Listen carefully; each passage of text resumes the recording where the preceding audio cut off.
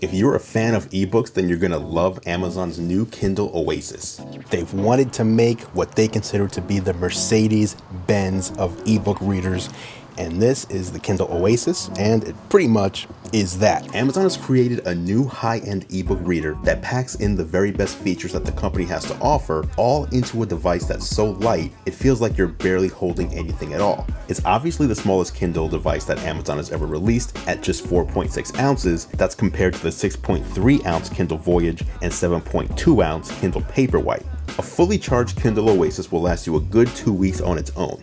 However, rather than selling a separate protective case for the device, Amazon actually bundles in a nice leather cover for the Oasis, which includes an extended battery pack. One thing about the hardware that seems odd at first is that it isn't a uniform thickness. The majority of the device is 3.4 millimeters thin, but there's a thicker portion on the side where the battery lies. That portion also houses the much appreciated hardware page turn button, the battery, the power button, and the micro USB charge port. After using the Kindle Oasis, it becomes obvious that the thicker portion is actually necessary in order to use the device comfortably. It puts the bulk of the weight in your hand, making the rest of the device seem weightless. You can now comfortably turn the page with either the touch display or the dedicated page turn buttons located on the front of the hand grip. Whether you choose to read with your left hand or your right hand, the Kindle Oasis automatically rotates the page orientation to match, so you always get the buttons in an easy to press spot right by your thumb. When fully charged, it provides an additional 6 weeks of battery life, bringing the total to 8 weeks. And the cover does add a little bit of heft, but the cover folds back and attaches to the back of the Kindle magnetically, and when you do that, it feels similar to holding a very small and light paperback.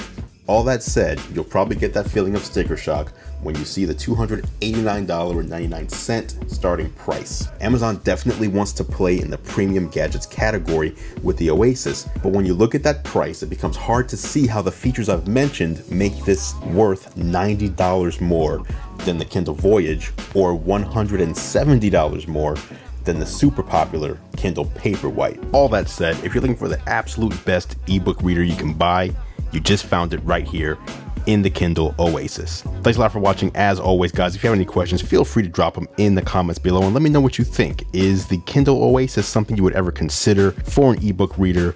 Or are you more budget conscious when it comes to e-ink? If you like this video, if you're a fan of the Kindle Oasis or just Kindles in general, go ahead and hit that like button down there. It helps out the channel more than you know. And if you loved it, feel free to hit the subscribe button up there to stay on top of all of our future video releases. I'm talking about reviews, news, tutorials, unboxings, and anything else that has to do with tech. Thanks for watching. I appreciate your support as always. I'm Andru Edwards, and I'll catch you in the next video.